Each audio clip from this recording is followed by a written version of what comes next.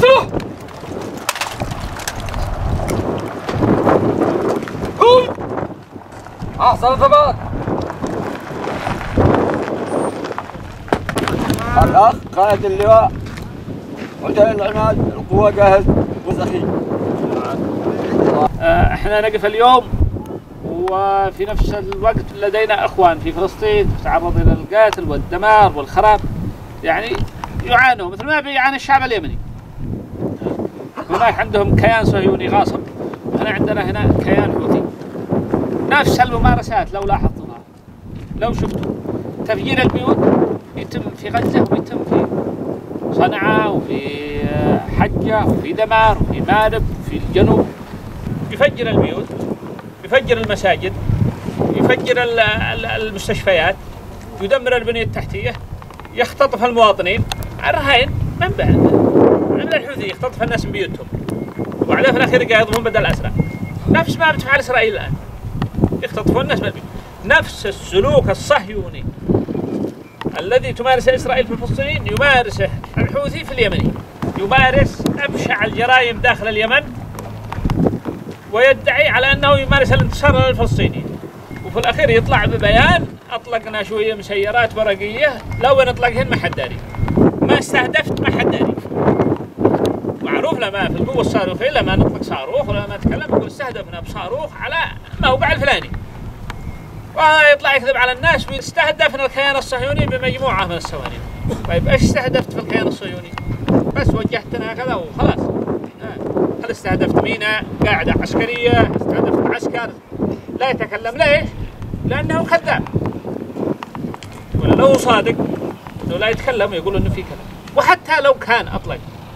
حسن نصر الله قبل أمس قال المسيرات لم تصل ولكنها حالة معنوية. هذا حسن نصر الله بيتكلم.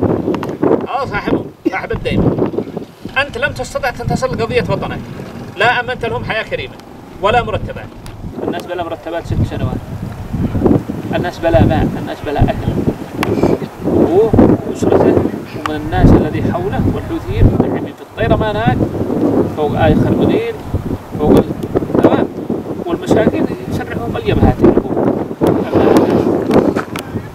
تعيد محاصرة لها ست سنوات شارع ما في مثل ما الآن العدو الاسرائيلي بيحاصر غزة ما دخل ولا قافلة مساعدات. هذا تسع سنوات وشارع في تعز ما فكر. هذه الممارسات لا تدعي أنك بتقاتل في فلسطين وأنت في اليمن تمارس أبشع من إسرائيل. أنت معك صواريخ جابتها ايران إحنا معنا رجال مستعدين يقاتلوا في القدس.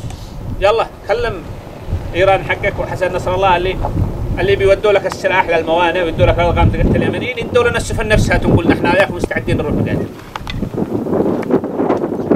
في فلسطين. كلام كذب. كلها اشعارات رنانه حزب الله اللبناني جنبك جنب إسرائيل. ليش ما تقاتل يا حزب الله؟ محور الشر محور خرب اليمن. اذا الشعب اليمني لا ينخدع ولا ينجرف أمام كل هذه الحركات والهطقات الحوثي مشروع إيراني. إسرائيل على إيران. مشروع لتدمير العرب كله بشكل عام. شفنا مشروعهم في سوريا شفنا مشروعهم في آه، العراق شفنا مشروعهم في لبنان ومشروعهم في اليمن. كله مشاريع خراب. ودمار وابتزاز. بعد ما أطلق له شوية مسيرات رجع يدور من الناس فلوس. كلها حركات كل هذا حركات من الحوثي فقط يبتز الناس ويدخل زلط. بيبيع الحديد حقه هذا كذي عرضا بفلوس. حول للقوة الصاروخية بعدها ام تي ان ولا موبايل ولا يجمع في الجوامع تبرعات في 73 عندما اجتمع العرب استطاعوا أن يحققوا نصر على إسرائيل. لكن كان رايتهم أمة عربية واحدة الناس كلهم عرب. هذا كانت شعارهم وهاجموا المطارات الإسرائيلية وحرروا سيناء واستطاعوا أنهم يكسروا العدو في خلال أسبوع. الناس معولين عليكم ومعولين على جاهزيتكم وعلى هذا التشكيل الوطني. المقاومة الوطنية هذا هو المشروع الوطني الذي يستطيع أن ينتصر لقضايا الوطن وينتصر لمن؟ وينتصر لمظلومية الشعب الفلسطيني؟ أو أي قضايا عربية أخرى. روح بالدم نبديك يا مصر روح بالدم نبديك يا مصر